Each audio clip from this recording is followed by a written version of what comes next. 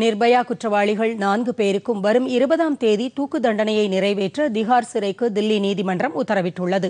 கடந்த இரண்டாயிரத்து பனிரெண்டாம் ஆண்டு தில்லியைச் சேர்ந்த நிர்பயா என்ற மருத்துவ மாணவி பாலியல் வன்கொடுமை செய்யப்பட்ட வழக்கில் நான்கு பேருக்கு தூக்கு தண்டனை விதிக்கப்பட்டது. நான்கு குற்றவாளிகளில் ஒருவரான பவன் குமார் குப்தா சார்பில் தாக்கல் செய்யப்பட்ட மறுசீராய்வு மனுவை உச்சநீதிமன்றம் செவ்வாய்க்கிழமை தள்ளுபடி செய்து உத்தரவிட்டது. இதைத் தொடர்ந்து அவரது சார்பில் அனுப்பப்பட்ட கருணை மனுவும் புதன்கிழமை குடியரசுத் தலைவரால் நிராகரிக்கப்பட்டது. இதையடுத்து நான்கு குற்றவாளிகளின் கருணை மனுவும் குடியரசுத் தலைவரால் நிராகரிக்கப்பட்டுள்ளது. இதனைத் தொடர்ந்து நிர்பயா குற்றவாளிகளை தூக்கிலிடுவதற்கான புதிய தேதியை அறிவிக்குமாறு தில்லி நீதிமன்றத்துக்கு திகார் சிறை நிர்வாகம் கோரிக்கை விடுத்திருந்தது.